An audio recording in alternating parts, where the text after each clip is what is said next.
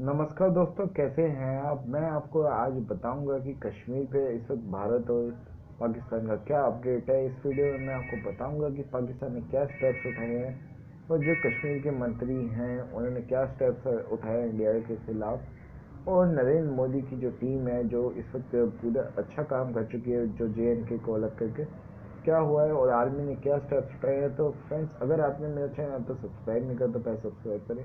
जैसा कि आप जानते हैं कि लद्दाख को और कश्मीर को यूटी बना दिया है, इससे बड़ा इम्पैक्ट आया है और इस वक्त इंडिया के जितने भी नेवल बेस मतलब हमारी नेवी की फोर्स है, वो नरेंद्र मोदी ने अलर्ट पे डाल दी है क्योंकि माना जा रहा है कि इस वक्त पाकिस्तान नेवल पे कोई अटैक कर सकता है। जो कि इंडिया की टीम है मतलब नरेंद्र मोदी टीम काफ़ी अच्छा काम कर चुकी है। वहीं कुछ एंकर्स पाकिस्तान के ये बोल रहे हैं कि इस बार चीन उनकी काफ़ी मदद करेगा और ज़्यादा पैसे देगा ताकि इंडिया की बदनामी हो। और जो इमरान खान की सरकार है, उन्होंने इंग्लैंड के राष्ट्रपति से बात करी है ताकि वो जे एंड के के इन्वॉल्व हों और हेल्प करें उनकी। लेकिन नरेंद्र मोदी ने सोच लिया है और आर्मी को खुली छूट दे दी है कि वो पीछे नहीं हटेंगे। वहीं अभी पता लगा है कि जो क्रिकेटर सरफराज खान है, उन्होंने भी कहा कि इंडिया ने काफ़ी गलत काम किया है। जे एंड के हमारा है ले, लेकिन नरेंद्र मोदी ने बिल्कुल सही स्टेप्स उठाए हैं।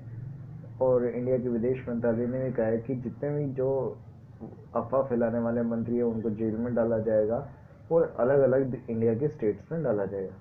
अभी बहुत ज़्यादा स्ट्रिक्टनेस है और कह रहे हैं कि कश्मीर के जो हालात हैं वो सामान्य हैं।